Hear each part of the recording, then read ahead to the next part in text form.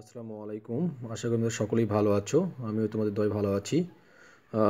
নিজেদেরকে Covid nineteen virus থেকে সুরক্ষিত রেখেছো, আশা করি। সেই সাথে তোমাদের, তোমরা তোমাদের অনলাইন ক্লাসগুলো নিয়মিত চর্চা করতেছো, অনুশীলন করতেছো। ঘরের বাইরে যাওয়ার এখন দরকার নেই, যেহেতু বিশ্বব্যাপী করোনা ভাইরাস অর্থাৎ কোভিড নাইন্টিন ভাইরাস ছড়িয়ে পড়েছে।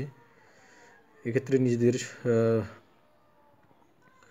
প্রোটেকশন আগে দিতে হবে, নিজেদের আগে নিজেদের স্বাস্থ্য সুরক্ষা বিধি মেনে চলতে হবে। তো যাই হোক, প্রিয় শিক্ষার্থীবৃন্দ, তোমরা জানো বিগত ক্লাসে আমরা ভেক্টর অধ্যায়ের উপর আলোচনা শেষ করেছি। আজকে আমরা নতুন চ্যাপ্টার নিয়ে আলোচনা করব। আজকে আমরা আলোচনা করব বিন্যাস ও সমাবেশ নিয়ে পারমুটেশনস অ্যান্ড কম্বিনেশনস আসলে বিন্যাস ও সমাবেশ সম্পর্কে প্রথমে যাতে হলে কিছু বেসিক জিনিস জানতে হবে, সে যেমন গণনার যোজন বিধি, গণনার গুণন বিধি। তো প্রথমে আমরা একটু আলোচনা করে নেব ভূমিকা হিসেবে বিন্যাস ও সমাবেশ সম্পর্কে। আমরা জানি এই জগতে আমরা সবাই সাজাতে এবং সাজতে পছন্দ করি। সাধারণত আমরা যদি কোনো কিছু ক্রম বিবেচনা করে সাজাই, সেটাকে আমরা বলব বিন্যাস এবং আমরা যদি কোনো কিছু বা কোনো জিনিস বা বস্তুকে আমরা ক্রম উপেক্ষা করে সাজাই, সেটিকে আমরা বলব সমাবেশ। উদাহরণস্বরূপ আমরা যদি আমরা বলতে পারি যে ঢাকা মেডিকেল কলেজের একটি বিভাগের পাঁচটি ফোন নম্বরের একটি হলো, ঢাকা মেডিকেল কলেজের জরুরি বিভাগের পাঁচটি ফোন নম্বরের একটি হলো eight six two six eight one two এক্ষেত্রে একটি ক্রমের, একটি অঙ্কের ক্রম পরিবর্তন করলে কাঙ্ক্ষিত সংযোগটি পাওয়া সম্ভব নয়। যেমন আমরা যদি মোবাইল নাম্বার আর একটি ডিজিট দুটি ডিজিট পরস্পর বিনিময় করি, তাহলে কিন্তু কাঙ্ক্ষিত নম্বরে আমরা কল করতে পারব না। সেজন্য বলা হচ্ছে এক্ষেত্রে ক্রম ক্রম রক্ষা করে চলতে হবে, ক্রম বিবেচনা করতে হবে। আর ক্রম বিবেচনা বিবেচনা করে সাজানোর এই প্রক্রিয়াকেই বলা হচ্ছে বিন্যাস। ইংরেজিতে এটিকে পারমুটেশন বলা হয়। আবার ধরা যাক, তিনটি ক্রিকেট টিম কোনো একটি টিমে নিজেদের মধ্যে খেলবে, যেমন বাংলাদেশ, পাকিস্তান, ভারত, এই তিনটি দল একটি ত্রিদেশীয় সিরিজ খেলবে।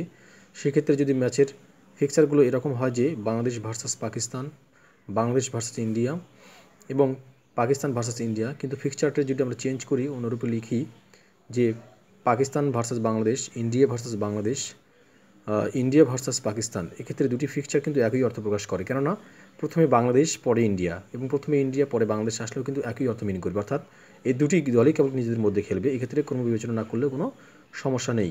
এক্ষেত্রে আমরা দেখতে পাচ্ছি যে ক্রম বিষয়টি উপেক্ষিত হয়েছে। সুতরাং ক্রম বিবেচনা না করে সাজানোর এই প্রক্রিয়া হলো সমাবেশ। আচ্ছা তোমরা জানবে, যদি লক্ষ্য করো তাহলে দেখতে পাবে যে ভারতীয় গণিতবিদ ও জ্যোতির্বিদ ভাস্করা টু আনুমানিক এগারোশো পঞ্চাশ সালে সর্বপ্রথম এন সংখ্যক বস্তুর বিন্যাস সংখ্যা নির্ণয় সূত্র প্রদান করেন। প্রিয় শিক্ষার্থীবৃন্দ আমরা এখন দেখব যে আমরা প্রথমেই বলেছি যে বিন্যাস সম্পর্কে জানতে হলে তোমাদের জানতে হবে যে গণনার যোজন বিধি কী এবং গণনার গুণন বিধি কী। তোমরা দেখতে পাচ্ছ যে addition of addition law of counting অর্থাৎ গণনার যোজন বিধি। যদি কোনো একটি কাজ, যদি কোনো একটি কাজ সম্ভাব্য এম সংখ্যক উপায়ে অথবা কাজটি সম্ভাব্য এন সংখ্যক উপায়ে সম্পন্ন করা যায়, তবে কাজটি একত্রে আমরা এম প্লাস এন সংখ্যক ভিন্ন ভিন্ন উপায়ে সম্পন্ন করতে পারব।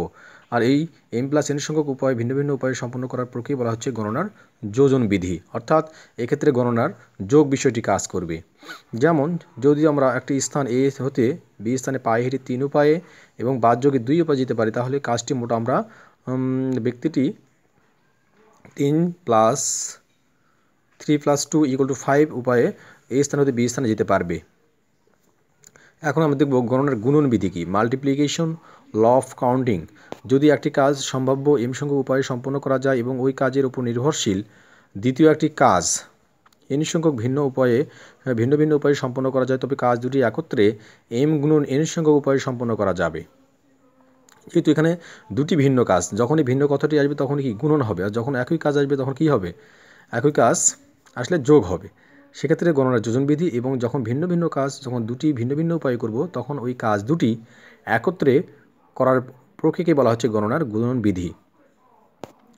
প্রিয় শিক্ষার্থীবৃন্দ এম সংখ্যক, এম গুণন এন সংখ্যক উপায় সম্পন্ন করার এই প্রক্রিয়া বলা হচ্ছে গণনার গুণন বিধি এখন উপরের দুটি কাজ, এম গুণন এন সংখ্যক পদ্ধতিতে সম্পন্ন করার পর যদি তৃতীয় একটি কাজ আর সংখ্যক উপায় সম্পন্ন করা যায়, তাহলে তিনটি কাজ একত্রে আমরা কীভাবে করতে পারব? এম গুণন এন গুণন, এম গুণন এন গুণন আর সংখ্যক উপায়ে সম্পন্ন করতে পারব। যেমন, যদি একজন লোক এ থেকে বিতে যেতে তিনটি পৃথক পদ ব্যবহার করেন এবং বি থেকে সিতে যেতে যদি চারটি পৃথক পদ ব্যবহার করেন, তাহলে এ থেকে সিতে কত প্রকারে যেতে তিনি পারবেন তা চিত্রে দেখানো হলো। প্রিয় শিক্ষার্থীবৃন্দ,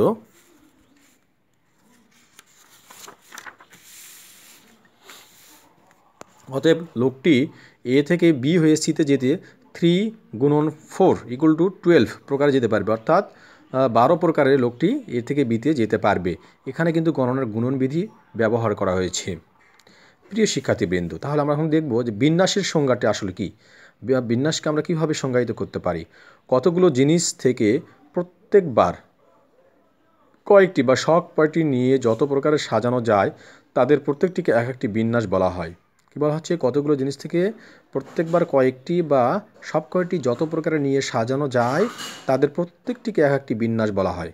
যেমন এন সংখ্যক ভিন্ন ভিন্ন জিনিস হতে প্রত্যেকবার যদি আর সংখ্যক জিনিস নিয়ে প্রাপ্ত বিন্যাস সংখ্যাকে আমরা এনপিআর এনপিআর বা পিএনআর দ্বারা প্রকাশ করা যায়। বিন্যাস অর্থ হলো সাজানো। উদাহরণস্বরূপ এ বি সি তিনটি ভিন্ন ভিন্ন অক্ষর থেকে প্রত্যেকবার দুটি অক্ষর নিয়ে সাজালে আমরা পাবো A B B C B A A B BA BC CB A AC এখানে সাজানোর সংখ্যা বা বিন্যাস সংখ্যা হলো ছয়। অর্থাৎ থ্রি পি টু তিনটি জিনিস থেকে আমরা দুটি জিনিস অর্থাৎ তিনটি তিনটি জিনিস আমরা দুটি জিনিস সাজানোর উপায় হলো থ্রি পি টু আকারে লেখা যায়। আবার তিনটি করে অক্ষর নিয়ে সাজালে আমরা পাবো A B C A C B B A C B C A C A B এবং সি বি এ সুতরাং এখানে সাজানোর সংখ্যা হলো কয়টি? ছয়টি। আচ্ছা। প্রিয় শিক্ষার্থীবৃন্দ, আমরা এনপিআর নির্মাণ এখানে পিতে হলো পারমুটেশন এবং এনটা হলো টোটাল বস্তু বা জিনিস এবং আরটা হলো এন থেকে আমরা আর সঙ্গে জিনিস নির্বাচন করি। বা কী করি? আর সঙ্গে প্রত্যেকবার আর সঙ্গে জিনিস নিয়ে ভিন্ন ভিন্নভাবে সাজাই বা সাজানো। এনপিআর। এন সংখ্যক ভিন্ন ভিন্ন জিনিস দ্বারা আর সংখ্যক শূন্যস্থান যত প্রকারে পূরণ করা যায় তা হলো এনপিআর। এন সংখ্যক ভিন্ন ভিন্ন জিনিস দ্বারা আর সংখ্যক শূন্যস্থান যত প্রকারে পূরণ করা যায় তা হলো এনপিআর। প্রথম স্থানটি এন সংখ্যক জিনিস থেকে প্রতিবারে একটি করে নিয়ে এন সংখ্যক উপায় পূরণ করা যায়। প্রথম স্থানটি পূরণ করার পর অবশিষ্ট এন মাইনাস ওয়ান সংখ্যক জিনিস দ্বারা দ্বিতীয় স্থানটি এন মাইনাস ওয়ান সংখ্যক উপায় পূরণ করা যায়। সুতরাং প্রথম সুতরাং প্রথম স্থান একত্রে n into n minus n minus one সঙ্গে উপায়ে পূরণ করা যাবে। অর্থাৎ nP two nP one equal to অর্থাৎ nP two equal to n into n minus one অনুরূপভাবে nP three equal to n into n minus one n minus two np3 equal to n into n minus 1 n minus 2 np4 equal to n into n minus n1 n minus 2 n minus 3 np5 equal to n into n minus 1 n minus 2 n minus 3 n minus 4 অতএব n সংখ্যক জিনিস থেকে প্রতিবার আর সংখ্যক শূন্যস্থান যত প্রকারে পূরণ করা যায় অর্থাৎ n P r equal to n into n minus one n minus two n minus three dot dot dot dot আরতম উৎপাদক equal to n into n minus 1 n minus 2 n minus 3 dot dot dot, n minus r plus one এখন আমরা দেখব factorial কি? Factorial n belongs to n এখানে n হলো natural number n belongs to n হলে one থেকে n পর্যন্ত সকল স্বাভাবিক সংখ্যার ক্রমিক গুণফলকে ফ্যাক্টোরি ফ্যাক্টোরিয়াল এন বলা হয়। স্বাভাবিক সংখ্যা এন এর ফ্যাক্টোরিয়ালকে এন ফ্যাক্টোরিয়াল বা ইন ফ্যাক্টোরিয়াল দ্বারা প্রকাশ করা হয়। ফ্যাক্টোরিয়ালকে দুই দুই উপায়ে প্রকাশ করা যায়।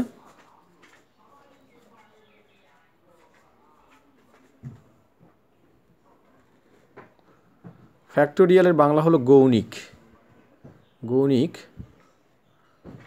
যেমন থ্রি ফ্যাক্টোরিয়াল ইকুয়াল আমরা লিখতে পারি ওয়ান থেকে তিন পর্যন্ত সংখ্যাগুলোর গুণফল। One into two into three equal to one গুণন টু গুণন three equal to six four factorial equal to one two three four equal to four into three into two into one equal to twenty four five factorial equal to আমরা প্রথম থেকে লিখব one two three four five equal to one hundred twenty অতএব n factorial equal to হবে হবে one two three dot dot dot n minus three n minus two n minus one into n আবার n factorial equal to লেখা যায় n into n minus one factorial equal to n into n minus one into n minus two factorial ইত্যাদি, যেমন nine factorial equal to nine two eight factorial equal to nine two eight into seven factorial ইত্যাদি।